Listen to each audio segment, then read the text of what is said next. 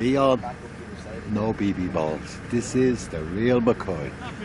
Tune in and watch this, Leon.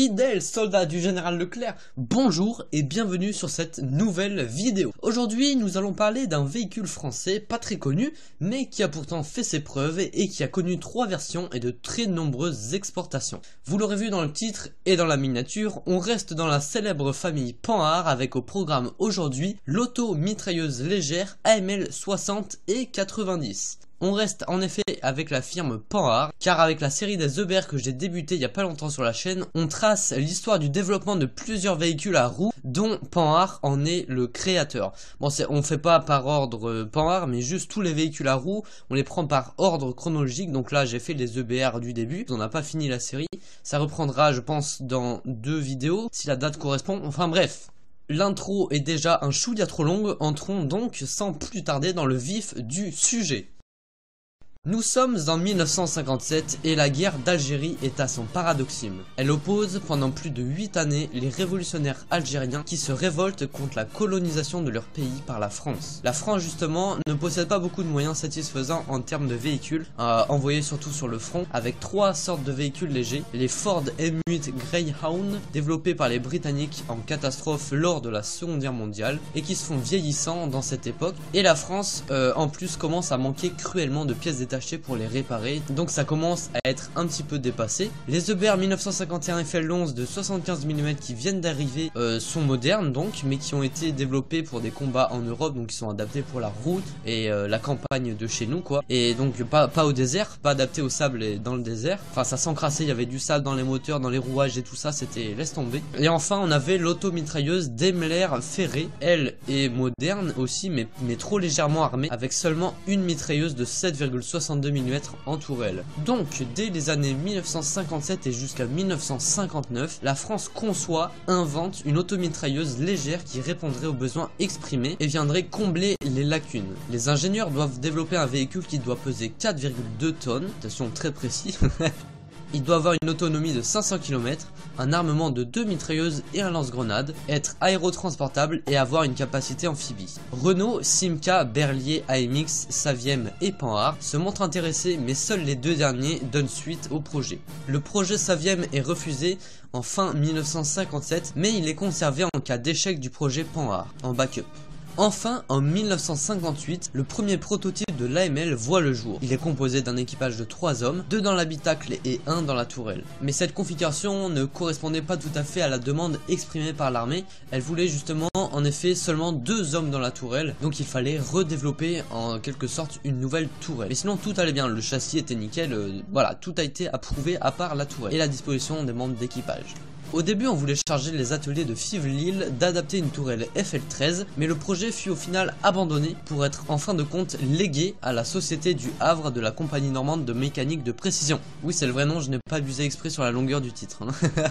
Il y eut plusieurs types de projets de tourelles, une pour monter un mortier de 60 mm et deux mitrailleuses AA52 de 7,5 mm, l'autre tourelle avec un mortier de 60 mm et une mitrailleuse lourde américaine Browning HBM2 de 12,7 mm, et au final ils ont rejeté le projet de la mitrailleuse lourde et ont gardé l'obusier de 60 mm qui a formé l'AML Panhard 60 et ensuite en complément un autre type de tourelle avec un canon de 90 mm qui au départ devait équiper un autre char mais qui fut monté avec grand succès sur le châssis de l'AML et donc qui a donné vie à l'AML Panhard 90. Nous sommes maintenant au début de l'année 1959 et ça y est, la conception est entièrement terminée, la production en série de ces véhicules est lancée et se terminera plus de 20 ans plus tard dans les années 1980 avec au total plus de 6000 exemplaires de produits en comptant l'Afrique du Sud qui en a aussi exporté et fabriqué sous licence avec le nom d'Elan Mark 7. Les premiers véhicules sont livrés en avril-mai 1961. Sauf que, rappelez-vous, pourquoi avait-on lancé ce projet? Pour avoir un véhicule plus adapté dans les combats en Algérie. Bien avec tout ce temps de développement de production, le conflit en fait venait à se terminer alors que l'armée française venait juste d'en envoyer sur place. Et pourtant on peut pas dire tout ça pour rien car le général de Gaulle qui souhaitait plus se concentrer sur le programme nucléaire et donc ne pas trop accorder de fonds dans ses véhicules. Au départ je crois qu'il y avait une commande de 1500 ou 1600 exemplaires et au final euh, il a diminué à seulement 900 AML pour la France.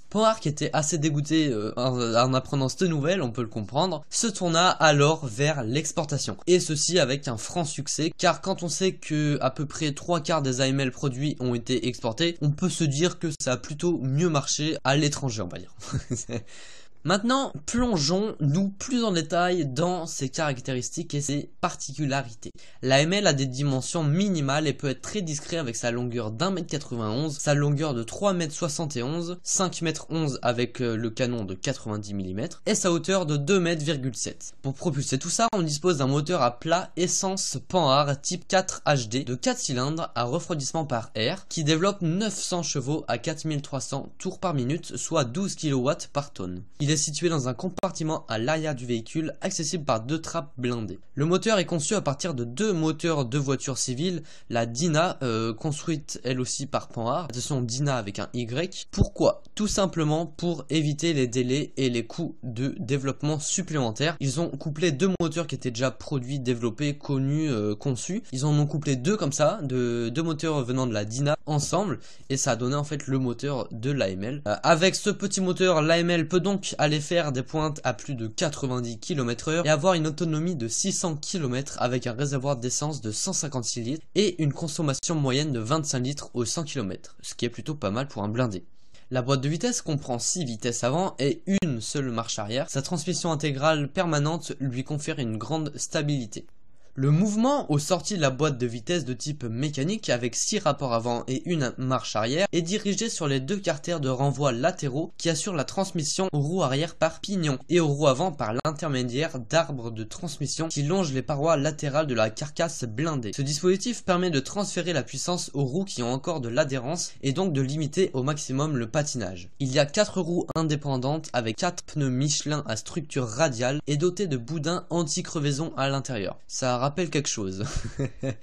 la pression des pneus est contrôlée depuis l'intérieur par le conducteur pour franchir les zones boueuses et sableuses. Il pouvait dégonfler euh, les pneus pour avoir une plus grosse adhérence de l'intérieur du char. Le poids du char était différent pour chaque emport d'armes. Pour la ML60, donc avec le mortier de 60 mm et la mitrailleuse, c'était 4,8 tonnes. Et la ML90 avec le canon de 90 mm aux environs de 5,5 tonnes pour la protection. L'AML possède à peu près le même glacis avant, plongeant comme ça en V que le BR du coup à peu près, et le blindage de la caisse est assuré par 13 plaques de 30 mm de blindage et de 8 à 12 mm ailleurs. Les points les moins protégés sont l'arrière, le plancher, et ce dernier était trop fragile contre les explosions de mines qui venaient par-dessous, et cela formait en fait son principal défaut. Pour ce qui est de l'armement, alors l'armement est le critère qui permet de différencier en fait les différents modèles d'AML qui ont tous en fait le même châssis, mêmes caractéristiques à part donc l'armement. Pour le cas de l'AML HE60-7, l'armement est composé d'un mortier de 60 mm et de deux mitrailleuses de 7,5 mm. Pour l'AML HE90, la première tourelle avec le canon de 90 apparaît seulement en 1960 avec en armement principal le canon CN90F1 de 90 mm qui pouvait tirer des obus HE et HIT et secondé d'une mitrailleuse AA52. Et enfin pour l'AML HE60-12, la tourelle, l'armement principal et le mortier de 60 mm restent identiques, sauf que les deux mitrailleuses sont remplacées par une mitrailleuse lourde Browning HBM2 de 12,7 mm. Vous vous rappelez, on, on l'a évoqué juste avant dans le développement, où justement on avait dit qu'ils avaient abandonné ce projet. Il y a eu plein d'autres versions d'armement proposées à l'export et qui n'ont jamais été équipées en France, comme l'AML H90 qui, en plus du canon, pouvait emporter deux missiles anti-char, l'AML Lynx 90 qui était l'AML 90 mais poussé au maximum des améliorations euh, avec le télémètre laser, la vision nocturne, la thermique, euh, etc. Tout le confort moderne en fait qui fait un bon char. Donc ça c'était l'AML 90H, l'AML H90 pardon, la famille aussi des élans que l'Afrique a développé à partir de l'AML. L'élan l'élan Mark 1, Mark 2, Mark 5, Mark 6, l'élan 60, l'élan 70. Tout ça descend en fait du fantastique projet que l'armée française avait euh, vendu et accordé la licence. Bref, on a fait le tour de cette superbe famille des AML. J'essaie de faire condenser mais bon ça va être un petit peu long quand même. J'espère que ce sera pas trop long pour vous. J'espère que la vidéo vous aura plu. Si c'est le cas, n'hésite pas à me manifester ton soutien avec le petit pouce bleu et l'abonnement, ça me fait super plaisir. Merci déjà à tous ceux qui me soutiennent sur YouTube. Sur ce, on va se dire à plus sur YouTube les gars. Allez bye